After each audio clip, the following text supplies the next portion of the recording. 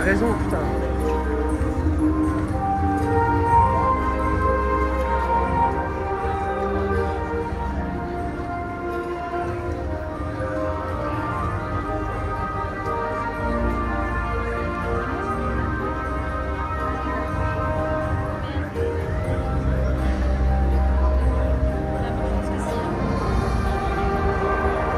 Tu veux filmer avec la GoPro Hop là, j'ai appuyé, c'est bon, ça filme. Mais c'est bien parce qu'il y a anti-vibration sur celle-là.